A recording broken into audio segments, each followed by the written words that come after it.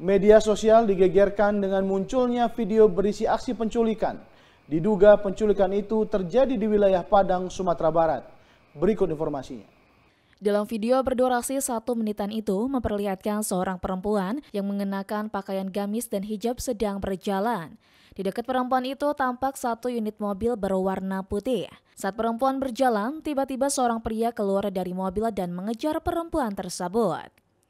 Pria yang mengenakan baju berwarna hitam itu langsung memeluk dan menggendong si perempuan yang saat itu berusaha lari. Pria tersebut kemudian menggendong perempuan itu dan memasukkannya ke dalam mobil.